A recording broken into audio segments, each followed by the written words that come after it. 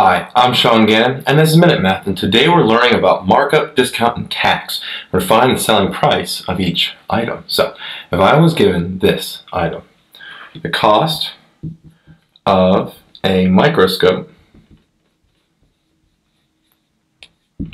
is 26, $269.95. Its markup is 43%, and its tax is 5%, okay?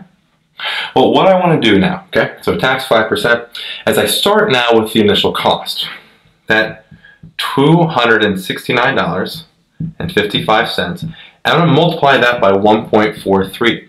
That represents a 43% markup.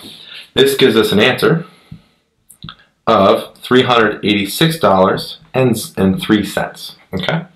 Then we have to deal with the tax. We take that $386 and 3 cents and multiply that by a 5% increase for the tax. So 1.05 represents that.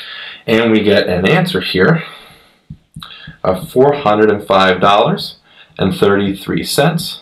And that's our final sale of price right on the microscope. Quick recap, given the cost of microscope is $269.95,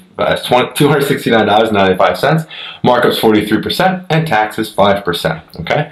Well, I first start with the selling price,